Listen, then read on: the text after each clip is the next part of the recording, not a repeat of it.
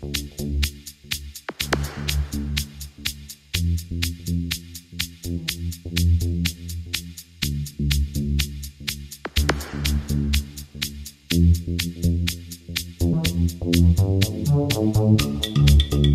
I was designing the Amsterdam Dance Event Special for Air Amsterdam, I faced a problem we, we actually always face, being that a LED has a direction.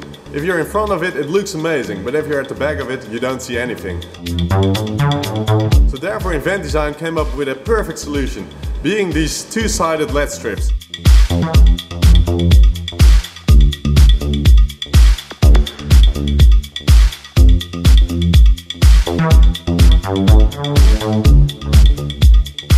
What's brilliant and innovative about it, it's actually only one print uh, having LEDs on both sides of it. So we use uh, 16 pixels per meter and they're all individually controllable and two-sided.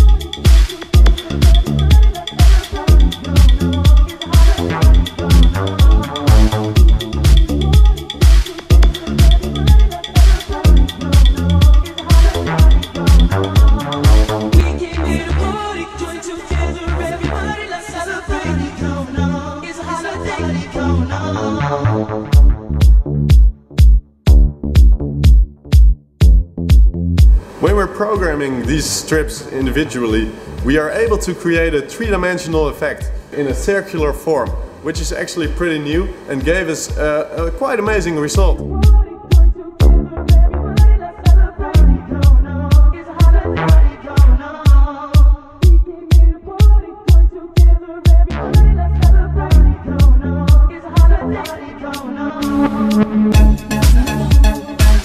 We are here at the control area for the Amsterdam Dance Event Special at Air Amsterdam.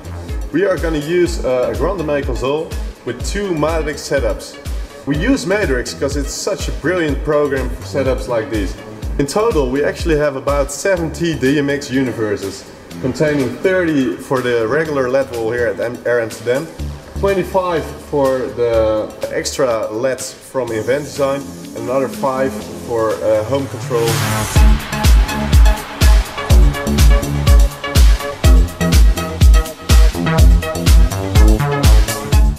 Have to be able to change quick.